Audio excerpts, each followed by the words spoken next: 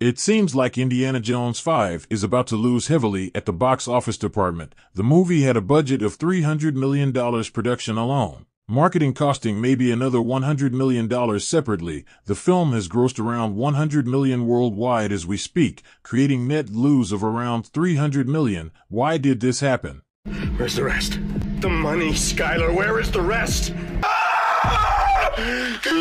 How did one of the most famous and well-known IPs like Indiana Jones end up losing millions at the box office? Is this the end of franchise films and well-known nostalgic IPs? Is this the end of Disney's reign as the biggest Hollywood movie studio? Is the anti-Disney movement from the right-wing circles having mainstream effects? Is this maybe similar to the entire anti-Bud Light right-wing movement, or are audiences tired of Hollywood ripping them off using old recognizable IPs? For any movie to work, for any movie to succeed, the film has to have a strong foundation, and that foundation has to be the story the film builds itself around. Did Indiana Jones The Dial of Destiny have a strong foundation, a strong plot? No. No! Oh!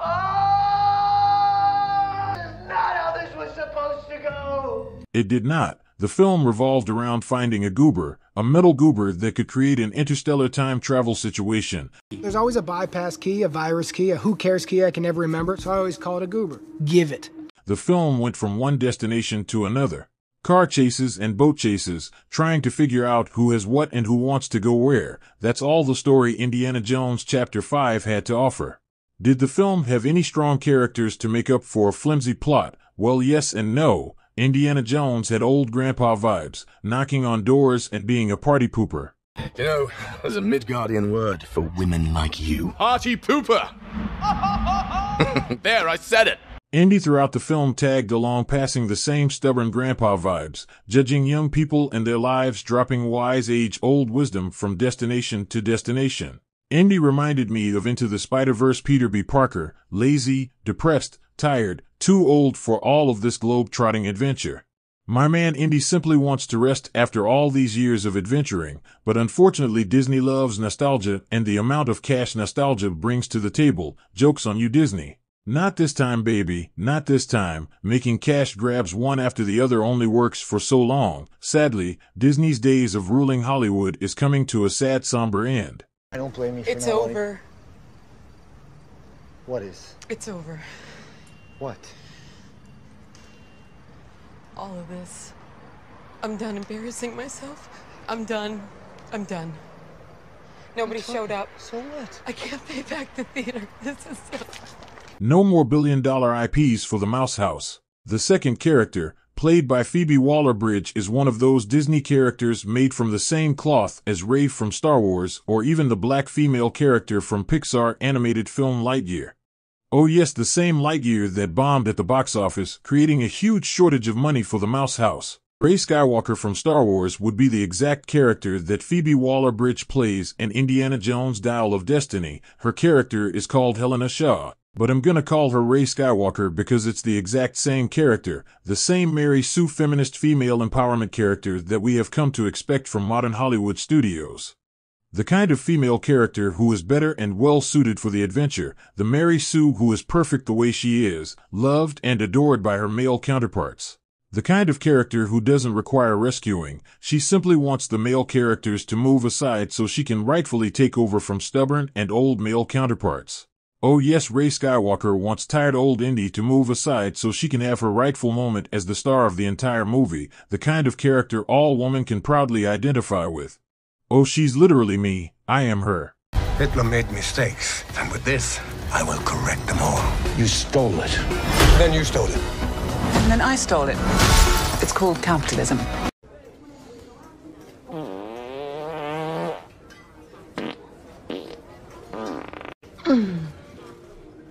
Oh, could two Harrison Ford characters from the same studio become the very same, Han Solo and Indiana Jones, both from Lucasfilms and Walt Disney Pictures?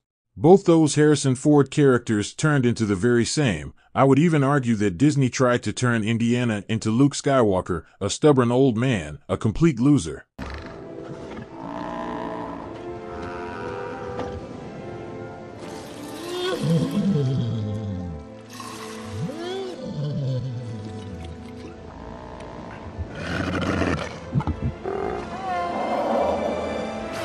Who need a purpose in life and that purpose is the Mary Sue, strong female character. She becomes his purpose. Wow, how empowering for all those young boys who are watching your films Disney.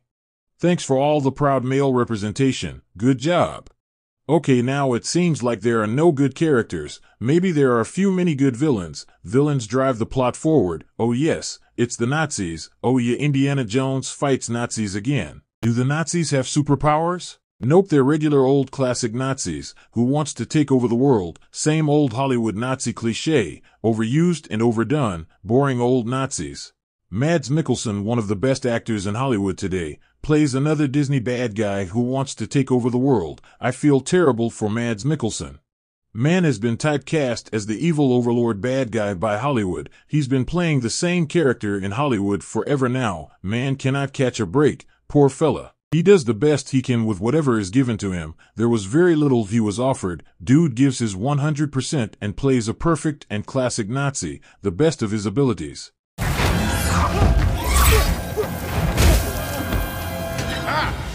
You don't know how to use that, do you?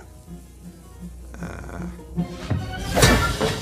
Since the story and characters were all dull, you might wonder if the action was any better. Did the action make up for all the dull characters and plot lines? Yes and no. There were times when the action stood out like a Mission Impossible movie, except we know all the stunts and action were performed in front of a green screen.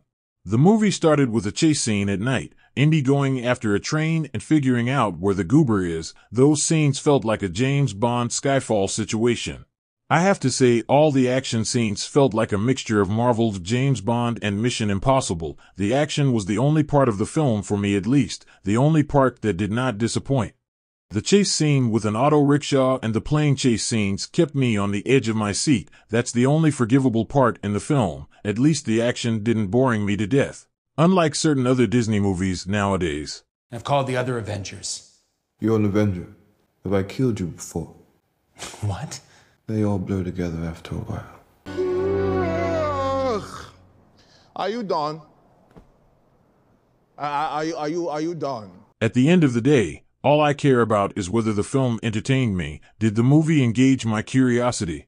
Did I spend two hours of my time in the theater watching the movie, or did I tweak my smartphone? And the easy answer is no. The movie did not engage with me for its entire runtime. Half of the time I spend scrolling through my feed on social media, Twitter, YouTube, and other channels. The film has no originality.